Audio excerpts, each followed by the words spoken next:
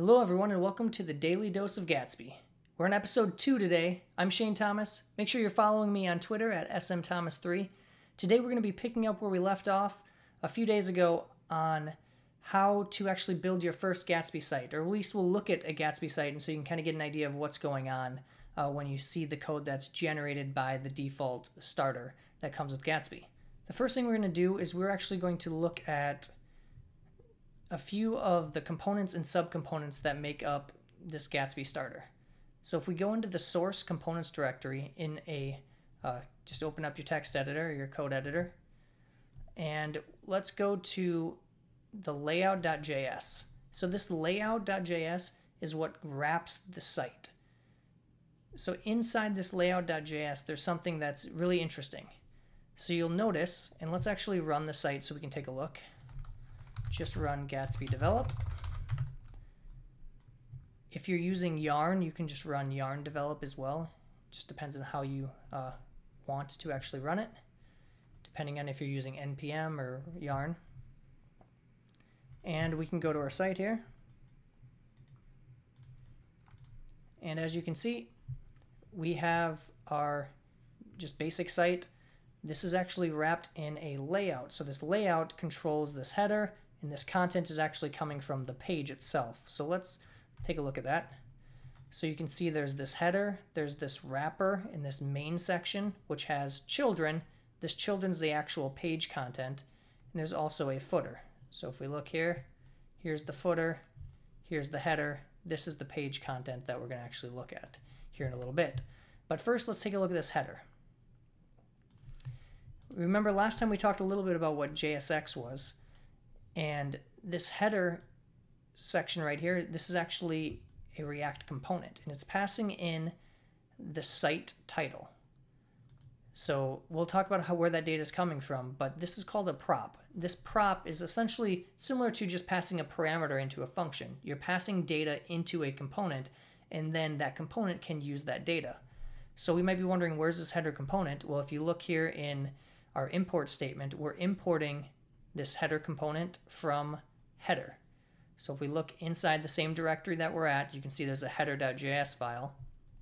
If we go to that, you can see this is a header component that we're declaring. And you can see right here, this is a React component. It's called header.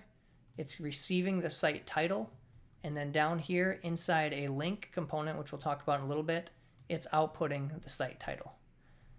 So if we want to find out where this site title is actually coming from, let's go back to our layout.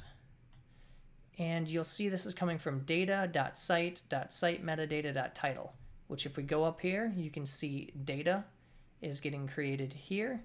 And it's using something called a static query. So we haven't covered GraphQL yet, but GraphQL essentially allows you to query data um, from either APIs, maybe external data sources, or actually your internal site configuration. And that's what we're doing in this case.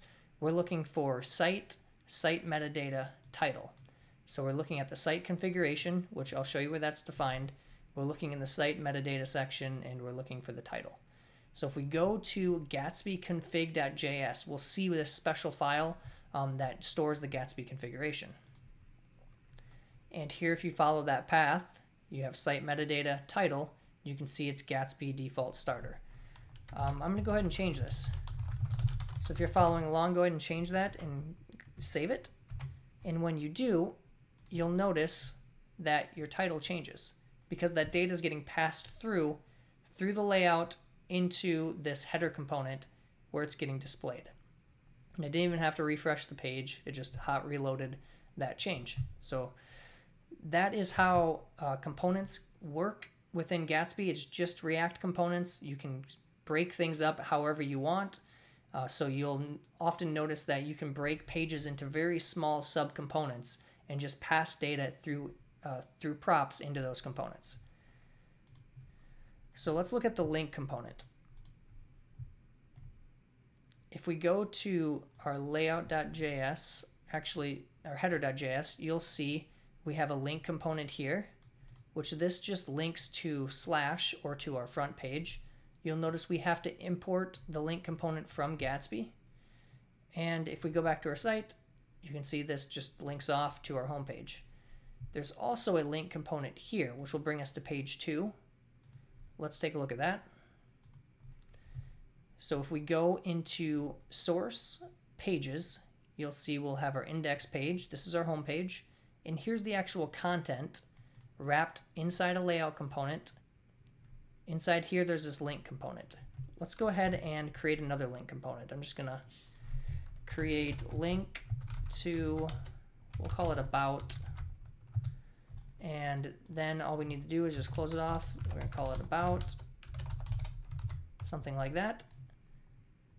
I missed an equal sign. There we go. And if we save this, go back to our site, you'll notice we now have an about link. You can clean this up, uh, put it in some actual markup so it's not bumped right up against this.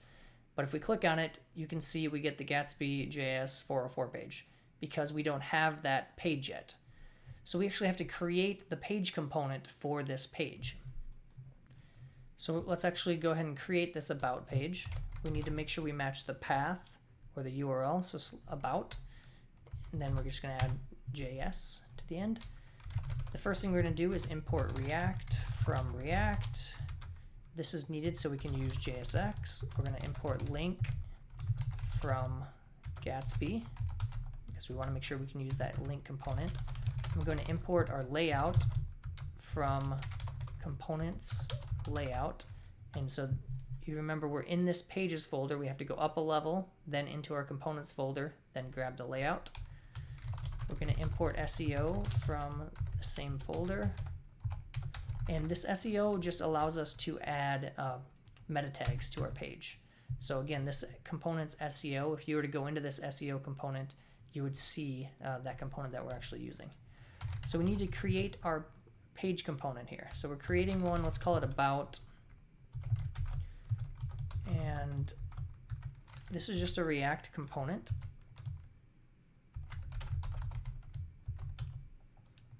And we're going to wrap it in our layout component. So everything that's inside this layout is going to get passed to this layout component here and be output as children. So we're going to start with our SEO so we can get the meta tags on the page. We can pass in a prop here. If we look at this SEO component, we'll see the available props. You can see there's description, language, meta, title. We're just going to pass in the title. And then this title is, of course, used in uh, within these meta tags that are output on the site. Then let's just make an H1 and we'll just say about page and then let's add a link component, which we'll just link back to the home page and we'll just say back to home. Now if we save it and we go to our site,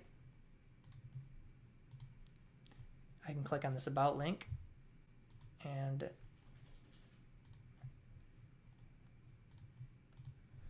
it's not going to do anything. You might be wondering why is this not working? Well, one important thing, you have to make sure you export any page component that you create. So we're going to export default about. If you don't export your page component, React doesn't know to create the page, or it's not going to actually create the page for you. So let's save it. Now we can see we have our about page. We can jump back and forth. So it's important to make sure you actually export your component. That's it for this time on the Daily Dose of Gatsby. Next time, we're actually going to go to how you can pull in data from external sources. So we're going to skip ahead some uh, some of the actual other Gatsby stuff, and we're going to learn how you can use GraphQL to pull from, in this case, a Drupal backend. But you can use any data source you want. So whether it's a WordPress site, another headless CMS, uh, whether it's markdown files, you can use all different types of things to pull in data into your Gatsby site. So that's it for this time. We'll see you next time. Goodbye.